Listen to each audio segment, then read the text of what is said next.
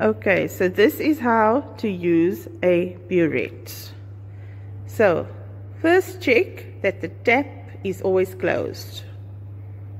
Do not add anything until checking that that tap is closed. Then add your funnel. And now you can add your solution. And you're going to fill it up to zero. Mm -hmm. Press pause and read the burette accurately. You should get 19.6.